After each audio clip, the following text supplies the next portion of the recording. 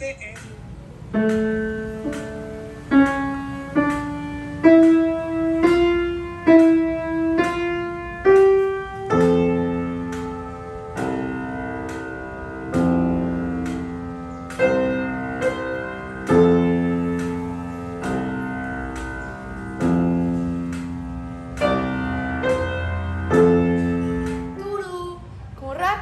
yo estoy como, yo creo que es así, pero realmente eso es porque yo me confundo tanto.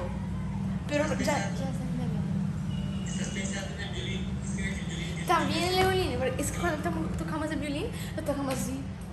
Tururu, tururu. Pues no así, tururu. Vamos a aprender del Alessandro Obregón. Él es un artista. Ajá. El Obregón, él es de Cartagena. You can see this abstract stuff. Yes, abstract is like it doesn't make sense, but it makes sense at the same time.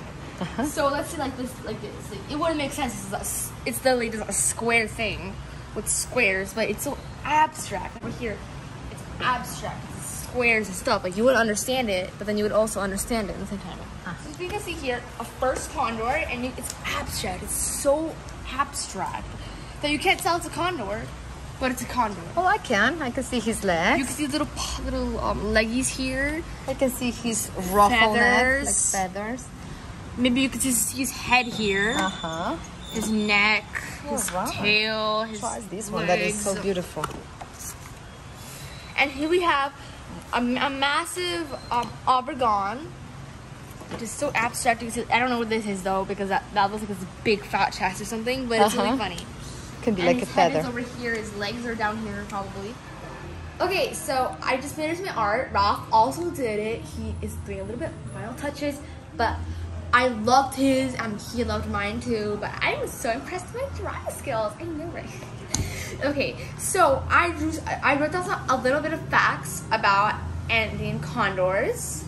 So uh, the American, the Andean condor is found in South America in the Andes. I don't know why I said American. Don't mind that. They live in wide open spaces and big mountains, up to 6,000 feet. Oh my god, I cannot live up here. 16, sorry, 16. 16,000 feet, aka 5,000 meters. The Andean condor can live up to 50 years. That's a long time. Okay? I don't think I've never learned about any bird that can live that for that much time. The Andean condor is the largest flying bird. You might have heard the peacock before, no, those only can glide.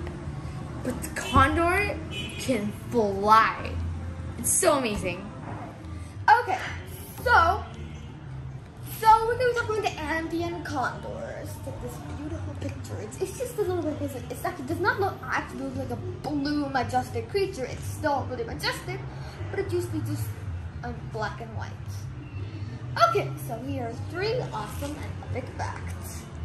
So number one, Andean condors are vultures. Like all, they're carrion feeders, not predators. They don't they don't like hunt for like live animals. They only eat eat dead food. Disgusting. But it's part of their life. But anyways. Number two is the condor is the national animal of seven countries. Most countries only, a lot of countries, not many countries have the same national national animal of another one. So these seven countries are Colombia, Venezuela, Ecuador, Peru, Bolivia, Chile, and Argentina. That's a lot. It's all in South America on the Andes. Five. The condor was a symbol of number three. The condor was a symbol of strength and nobility for the Inca, Chibcha, and Arawak culture. That is so cool.